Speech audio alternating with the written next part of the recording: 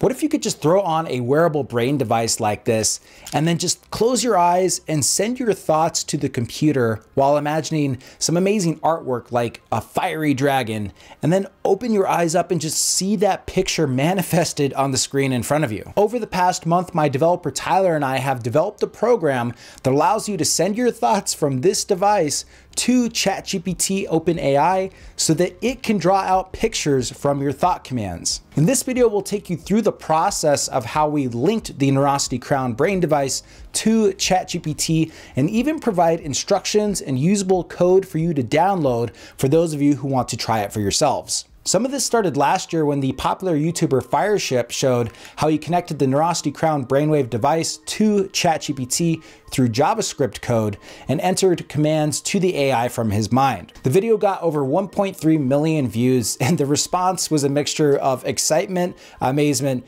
and fear. I really enjoyed his video but felt that it had a weak finish because he didn't do a full demonstration of the thought commands and he didn't really talk much about what it was actually like to train these algorithms with his mind and how accurate the commands can actually get. In this video, we'll talk about the current capabilities and limitations of this technology, as well well as how accurate this tech could actually get in the very near future. But first, let's take a look at the Neurosity Crown device. This is the Neurosity Crown. It has eight sensors that go on your scalp to detect electrical signals coming from your brain. It actually has an onboard computer that helps with the brainwave analysis and helps stream that data via Bluetooth and Wi-Fi to your devices for further use. I do like the location of these sensors because they're pretty close to the visual and motor systems of the brain that are good for training the AI to recognize certain visualizations that you can do in your mind that the device and the software will pick up. Here we see the Neurosity console Console Cloud platform where you can see your brainwaves and do algorithm training. Here's the quality of the connection between the sensors in my scalp. These are my brainwaves streaming over Wi-Fi in real time. But what we're most interested in today is this machine learning capability that they call kinesis training. You can pick from the drop-down menu a bunch of different commands to train. You can visualize doing jumping jacks, biting into a lemon,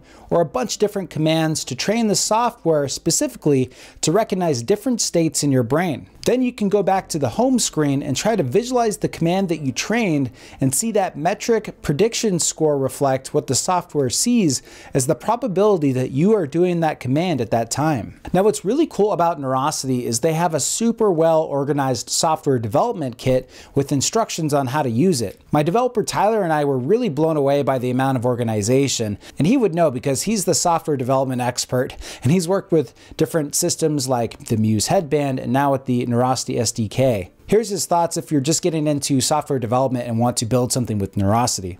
So if you're a beginner, I think Neurosity is a great way to start. It uses JavaScript, which is a simple language, and has great um, simplifications for just getting going. So there's way less code they have to write to actually get something functioning.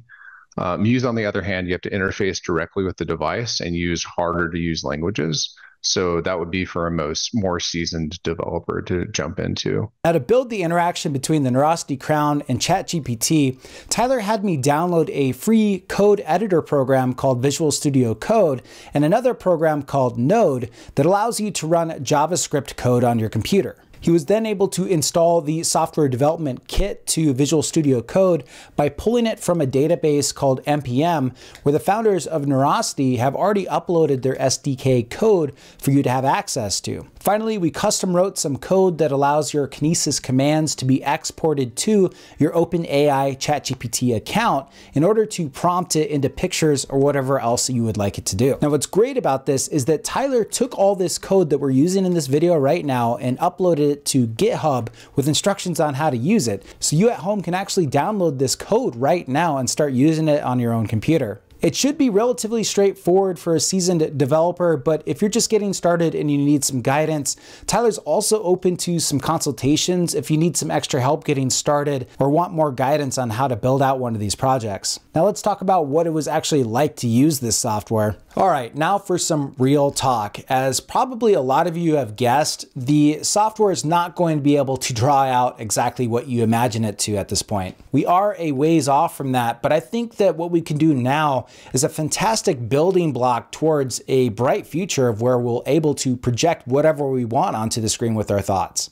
And I think that there are three main points that I experienced when going through this Neurosity training that illustrate where the technology is at right now. So number one, this device is picking up brainwave signals from your scalp. Those signals are very small and subject to a lot of noise in the environment and contamination of the signal. So to stand out from that noise, the signal is going to have to be pretty robust for the software to pick up the changes. That's why a lot of the Kinesis trainings in the drop-down menu on the Neurosity console are these big visualized movements like jumping jacks or other things that cause somewhat dramatic central nervous system changes like imagining when you bite into a lemon. There's a visceral response to that, so it's going to cause higher spikes in your brainwaves. Unfortunately, the brainwave signal differences between imagining a cat and a dragon, for example, are going to be too small for this setup to pick up and differentiate between at this point. But as we'll cover later, there are technologies right now that exist and are being developed that can pick up those nuances.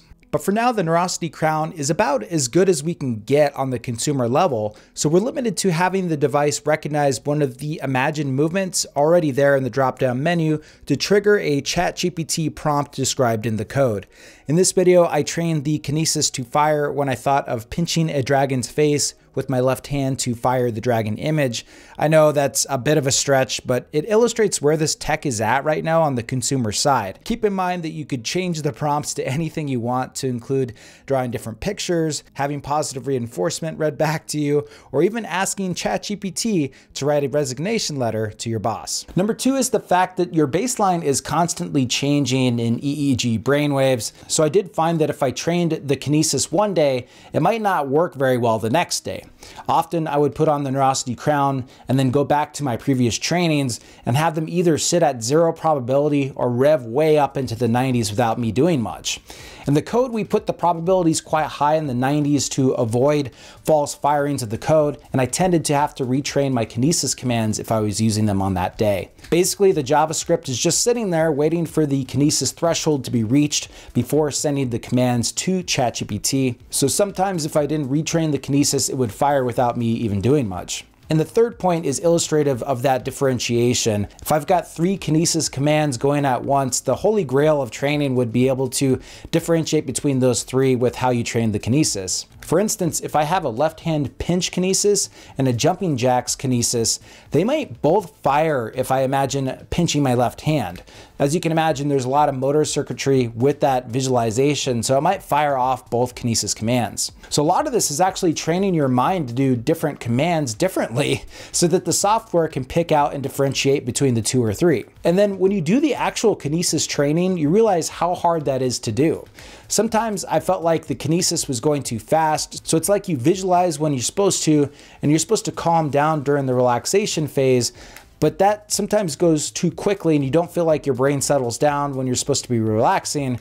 And then to fire off another visualization like biting into a lemon and getting that spike is kind of challenging to do 30 times in a row. Another example is how exactly do you do this? If I'm doing left hand pinch, how far do I imagine my fingers going?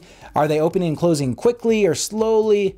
Am I pressing them together? Just going through that process, I realized how many nuances and variables there are there. And so this is all stuff that we're gonna have to figure out. What are the best movements for machine learning to actually be able to differentiate between commands? So there's a lot to think about and explore what might actually be the best building blocks once we get better and better technology, both in the hardware and in the AI machine learning analytics. Now, I do think within a couple of years, we'll get to the point of being able to project more aspects like specific animals, shapes, colors, moods, and all kinds of attributes to mind art generated by our minds through neurotechnology and into AI to create fantastic artwork that we can see in our mind's eye projected to the screen. And I do think that people with training will actually get very good at being able to project almost exactly what they're visualizing onto a computer or augmented reality screen. My friends with the Obvious group through the University of Paris are actually doing this right now with MRI machines,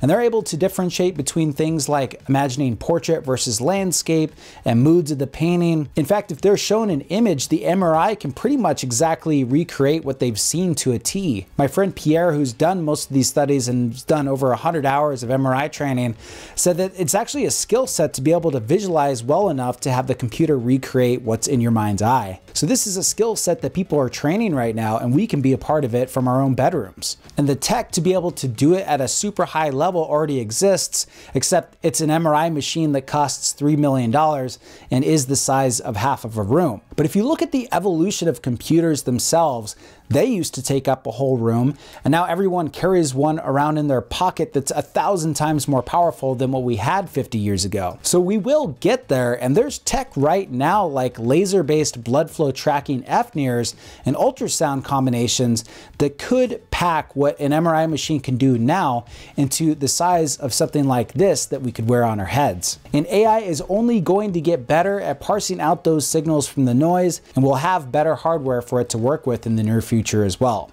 That way the AI can get a better differentiation of the nuances really required to project exactly what we're seeing in our mind's eye onto a computer screen. Still, I think that Neurosity is still an amazing setup to start creating the building blocks for this and to be an early adopter of this type of technology. And there's so many cool things that you could do with a program like this interfacing with ChatGPT. You could have commands for controlling a robot or other devices like telling a machine to make your coffee or guitar pedals. These are all projects that have been done already, and they're only getting easier with things like being able to interact with ChatGPT through simple JavaScript code using their API. So if you want to be an early adopter of this technology, be sure to check out the code below and the link provided for consultations with Tyler if you want to get your own project started. These devices are truly getting more powerful every day, and it's really interesting to see how the mainstream media is reacting to it. Colorado just passed a new law to protect people's brain data, which I think is a